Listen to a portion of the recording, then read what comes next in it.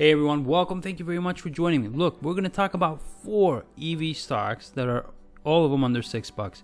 So we got four EV stocks that are extremely cheap, four electric vehicle stocks, right? Extremely cheap. And all four of these have the potential for a short squeeze. Some uh, well, one of them has already kind of scratched the surface, let's say, of a short squeeze. It's kind of, yeah, it has scratched the surface of a short squeeze. The other ones have a potential too. Now, uh, with that being said, let's get started real quick. So the number of electric vehicles on the road have crossed the 10 million mark in 2020. Yeah, back in 2020. But does that mean that we have a lot of EVs on the road? Actually, no. So that's actually good for the EV companies. That means that they have plenty of room to grow. 95% of all vehicles globally right now are still internal combustion. The first stock that has uh, a short squeeze potential, but it has actually scratched the surface already of a short squeeze, is Mullen Automotive. Mullen Automotive is not a stock that I own, and I don't intend on owning one. With that being said, that does not mean that the stock can't go up, obviously. I have a specific investment strategy that I use, and I stick to it and I don't change. With that being said, my investment strategy can obviously exclude a lot of stocks and will exclude a lot of stocks that uh, will go up in the near term or in the future. And that's fine with me. I can't be all over the place and own all the stocks on the stock market. I, I still go by my investment strategy, and that's just how I go about it. Even if that means that I'll miss out on a stock that goes up, that's that's fine with me, no problem. With that being said, Mullen Automotive is a California based electric vehicle company and it was founded in 2014. And guess what? It is currently, as I'm looking uh, on the in the stock market right now, it is trading exactly, exactly $3 per share.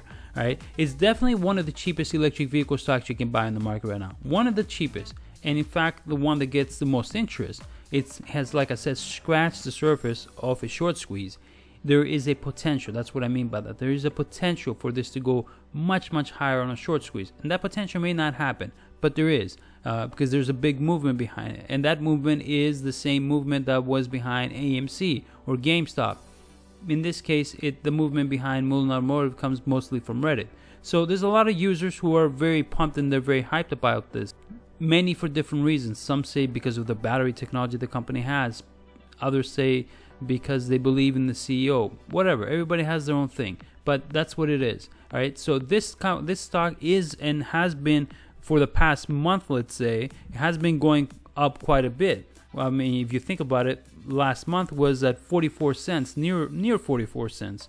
Let's say 50 cents. It was around there last month, and right now at three dollars. So I guess you can say it's sort of gone a little bit past scratching the surface of a short squeeze units sold in 2022. Look, 500 units is very little, but when you consider how much hype and interest there was behind this stock, if it comes true that Q3 2022 they actually go on and they start commercial production, they actually start commercial production, right? And they actually sell 500 units in 2020 squeeze. The next stock that may have the potential for short squeeze, again, not right now, but in Q3 of 2022, same thing as Lordstown Motors, is Faraday Future Intelligent Electrical Corporation. FFIE is the ticker symbol. The share price is under six bucks or around there, and the market cap is at 1.8 billion dollars. This company in 2021 did sign a partnership with Palantir, another stock that uh, has a lot of retail interest, but Palantir are questioning the financial stability of this company, questioning their own sanity, why they invested in this. The company has since built a factory in California and says that it will start its production of vehicles in Q3 of 2022. Could you imagine the day when they announced that we started, and we're actually starting to roll out vehicles from the factory?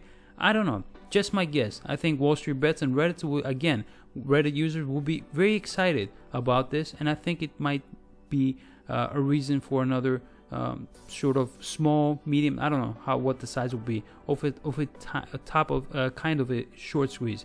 The main reason the Faraday Future is one of the cheapest EV stocks to own is because investors aren't sure how to value it, and you, you really can't value this company right now. It's kind of hard. There isn't much financial information to evaluate. And one more stock that I think could cause a short squeeze at some point if they start getting news out of some new deal and more uh, vehicles sold. Now, this one, out of the ones that I just talked about, this one that I'm going to talk about right now is actually proven or more proven than the ones we just talked about. All right, XO, XOS Incorporation, right? XOS Incorporation creates fully electric commercially delivered. Uh, XOS Incorporation creates full electric commercial delivery trucks. On top of this, it, it also offers fleet management and software and charging infrastructure.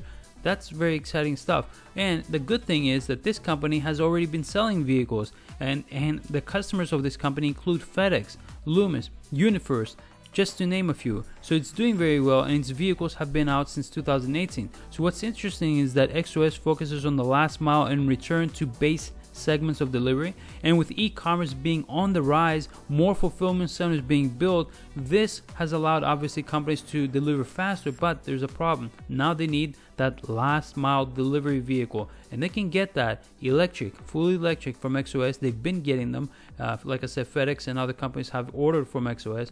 And I think that if XOS can come up with some news of a new deal, a bigger deal with some big companies again uh, for XOS vehicles, I think it will cause the stock to rise a lot, in my opinion. Take care, everyone.